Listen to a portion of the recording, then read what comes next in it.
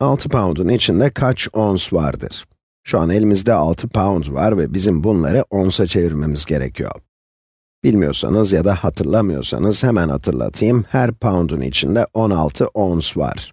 Ve pound'ları payda olarak yazmak istiyoruz. Bu da payımız. Pound'ları bölüp onsları çarpmak istiyoruz. Ne dedik? Her pound'da 16 ons var. Bu iki ifadeyi çarparsak bu poundlar diğer poundları götürecek ve elimizde sadece onslar kalacak. Biz de sadece 6 ile 16'yı çarpacağız. Böyle yaptığımızda işlem gayet mantıklı geliyor. Eğer 1 pound'a karşılık 16 onsumuz varsa, 6 pound'a karşılık olan ons sayısını bulmak için 16'yı 6 ile çarpmalıyız. Bu da bizim toplamda elimizde olan ons sayısı. Ne olacak? 16 çarpı 6, 6 kere 16 ne eder? 6 kere 6, 36. Elde var 3, 6 kere 1, 6, 3 artı 6, 9 etti.